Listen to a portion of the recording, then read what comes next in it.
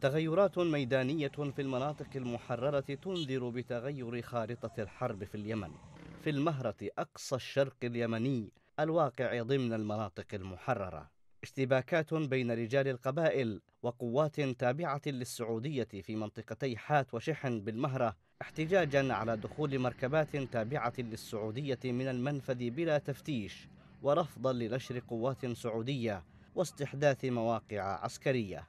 قبائل المهرة حذرت السعودية من أي تصعيد أو محاولة للسيطرة وفرض لأجنداتها بالقوة مؤكدة على أنها لن تظل مكتوفة الأيدي حيال أي تجاوز.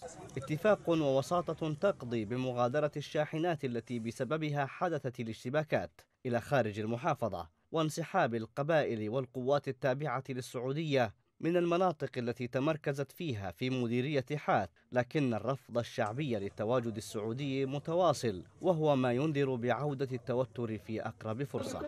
من ناحيتها أدانت اللجنة المنظمة لاعتصام المهرة قيام القوات السعودية باعتقال مواطنين وإيداعهما سجن مطار الغيضة وجددت استنكار ما وصفتها بالممارسات العبثية للقوات السعودية والميليشيات التابعة لها. أجندات إقليمية اشتباكات وإخفاء قسري واستحداثات عسكرية سعودية رفض شعبي واعتصام مفتوح وشرعية كل الأطراف تدعي وصلا بها وهي تتوارى في أهم اللحظات وأشدها حساسية.